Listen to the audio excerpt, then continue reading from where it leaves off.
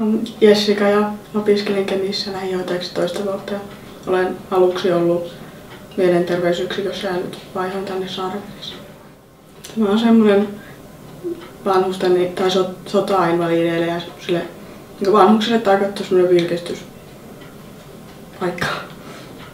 No niillä on erilaisia niin liikuntaryhmiä ja joskus pelataan ja se vain istutaan ja jutellaan niiden kanssa.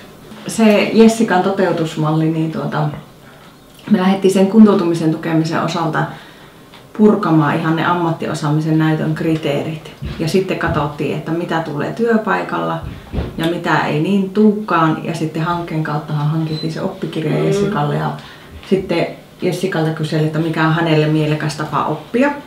Ja hän sitten totesi, että tämmöinen kirjoittaminen on hänen juttu ja sitten päädyttiin siihen, että tehdään tehtäviä, täydentäviä tehtäviä ja siellä saa sitten peilattua sitä työssä opittua ja sitä, sitä teoriaa tiedon nivoamista yhteen. Niin tuota, sillä tavalla lähdettiin, lähdettiin toteuttamaan.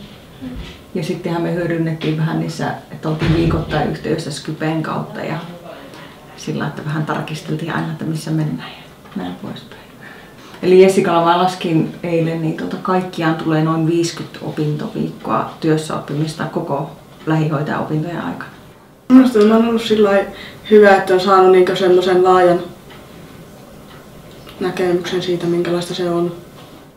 Sillä ainakin työllistymistä on mahdollista saada kesätöitä ja sitten saa sitä kokemusta.